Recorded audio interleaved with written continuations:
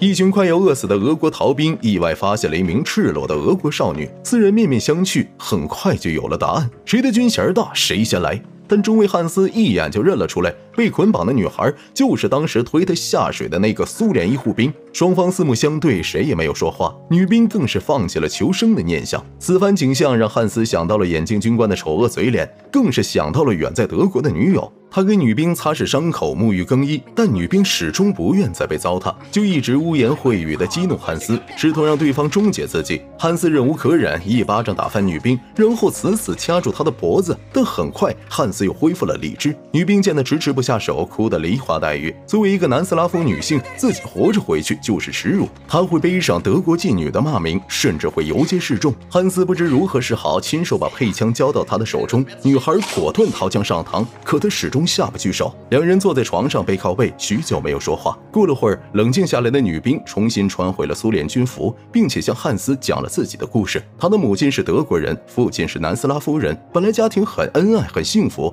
自从战争开始，她接连失去亲人，如今又失去清白，活着已没有意义。为了让他鼓起勇气活下去，汉斯当场暴怒着下令，自己永远不会碰这个女兵，更不准任何人碰她。躺在沙发上的上尉不知从何时突然苏醒，刚好看见。几人的苟且行径，他掏枪威胁几个逃兵外出继续作战。听到此话，奥图狂笑不止，接着从怀中掏出手枪，了结了生命。对于他来说，两年前参军那会儿自己就死了，只不过又多活了两年。罗路看着彻底癫狂的几人，背着上尉走出了军火库库，但两人刚到外面，上尉就失去了呼吸。紧接着看见将军带着大批士兵高举双手外出投降的一幕，战争终于结束了。可汉斯和费茨却对生活失去了信心，外出投降，苏联士。兵不会放过他们，就算自杀，他们也是逃兵，家人也得不到任何补偿。到底该何去何从？看着为难的两人，女兵决定带着他们逃出去。一路向西，三人在雪原上不知走了多久，身上带的补给快吃光。那天，他们遇上了苏军阵地，女兵兴奋地高举双手求救，却惨遭苏军无情射杀。汉斯趴在女兵身上哭泣了好长一段时间。不是说好的战争结束了吗？为什么？